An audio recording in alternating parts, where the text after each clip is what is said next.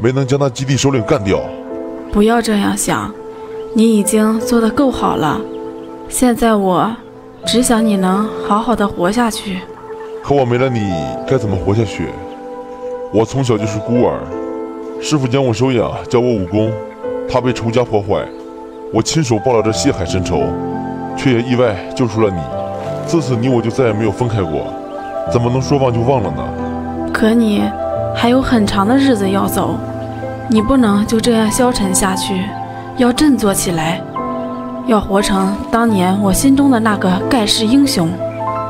我要走了，不要让我失望，不要让我失望，不要让我失望。灵儿，不要离开，灵儿。好，我答应你，我会振作起来，不会让你失望的。灵儿，我明白了，答应你的，我一定会做到。你是？我是这个岛上的居民，发现你晕倒了，这才将你带回来救治的。是吗？呃，头好疼，太感谢您了。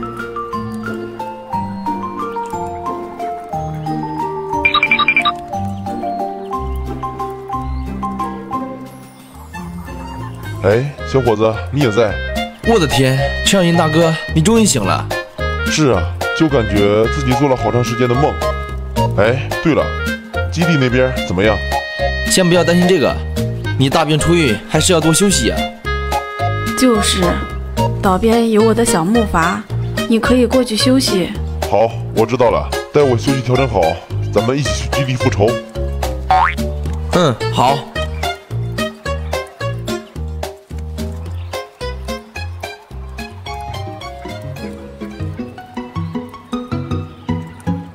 您真是太神了！没想到这催眠疗法如此有效。现在也只能说是病情稳定了一些，还是需要汤药巩固啊，否则随时可能复发。哦，哎，也不知大炮外出寻找的怎么样了。倒，倒。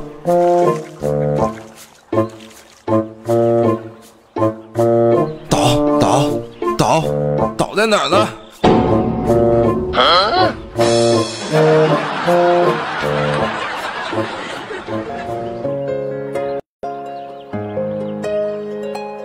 今天是木筏求生的第一百三十八天，神医用催眠疗法暂时稳定了陈小英大哥的病情，也希望他能够多坚持一些日子，撑到大炮带药归来。